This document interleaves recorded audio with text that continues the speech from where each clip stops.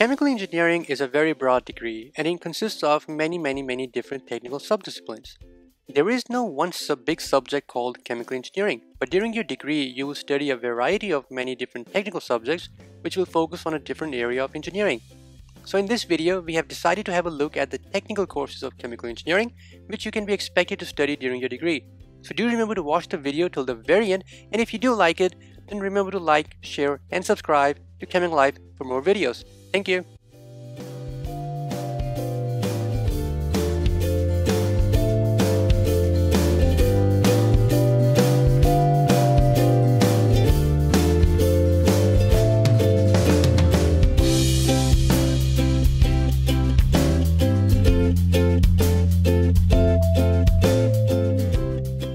Process engineering is the core of chemical engineering and hence you will see that many of the technical subjects are related to production and or industrial processes. The biggest and the most important technical subject within engineering is process design. Process design is defined as the choice and sequencing of unit operations for desired physical and or chemical transformation of raw materials. For example, at a very small scale in your everyday life, you wake up every morning and you make coffee from coffee beans, right? Your beans are the raw materials and you put them in a machine and some things happen within that machine and you get your end product which is coffee. Now imagine something similar but in a larger much larger scale. Let's have a look at an industrial example.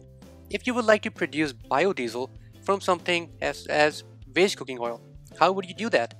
Then you would need some very specific unit operations and processes set up in a correct sequence which will help you transform the waste cooking oil into the final product which is biodiesel and that is exactly what you will learn in this course.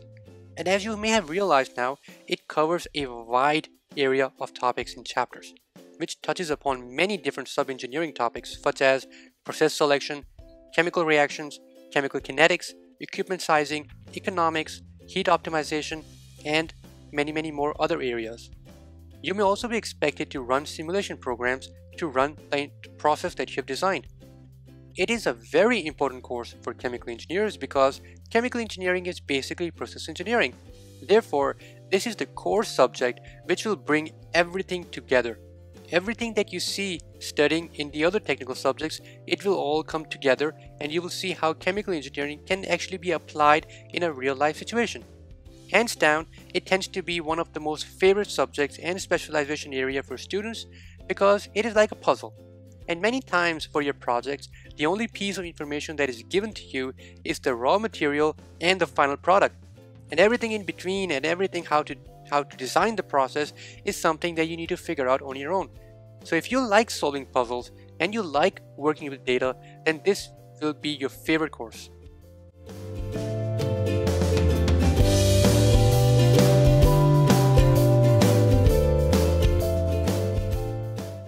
Another technical subject is process control, which teaches you about maintaining key process parameters in manufacturing processes at their desired set points. For example, let's say that you're sitting in your room and you feel like you're getting hot. Then what do you do? You stand up and you turn on the air conditioner or you decrease your radiator. You identified a problem and you solved it by taking an action.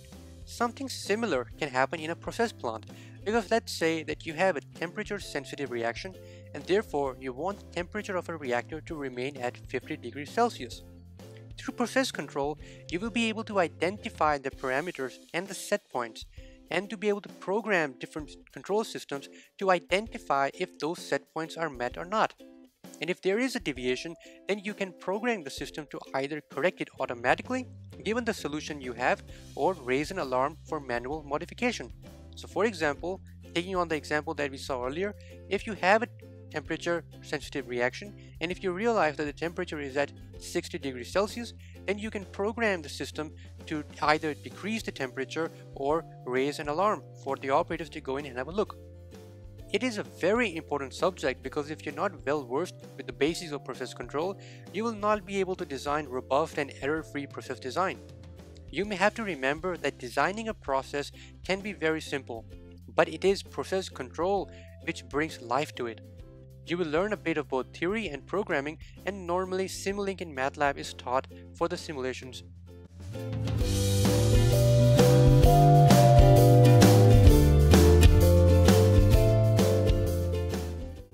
Technical subject is separation process. Separation processes is the subject where you will learn about different processes of separating two or more substances in order to obtain purity. Let's say you have a mixture of acetone and water and you want a pure solution of acetone. How do you do it in an industrial scale using industrial equipment? That's exactly what you will learn in this course. In the right terms, it is a very technical subject where you will learn about phase diagrams, distillation, and the actual separation processes. At the same time, you will be taught about the equipment which is used to perform these tasks and how you can model them, size them, and design them. It can be a very difficult subject and you will be required to have a very good command on thermodynamics and mathematics. But the best part is, it is the subject where you will always hear people talk about stripping. And no, it does not mean what you think it means. Rather, in chemical engineering, stripping is a separation process where components are removed from a liquid stream using a vapor stream. And who says engineers do not have a sense of humor?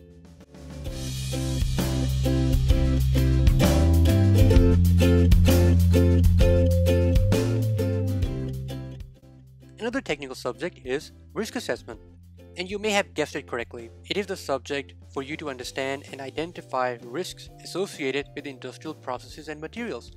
As a chemical engineer, you will find yourself working within industrial production in one way or another, and not surprisingly, there are many risks that are associated with these industrial plants. For example, the ammonia in your storage tanks can leak into the air, your reactors can catch on fire, your pipes can freeze up or blow up.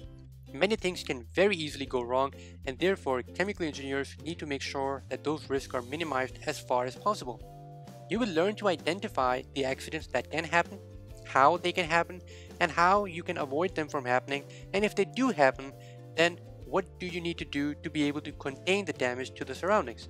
It is a very, very important subject for you to learn because risk engineers are the people that may end up saving thousands of lives in a time of accident and crisis. So, it may be a very good idea for you to pay extra attention when you are taking this class.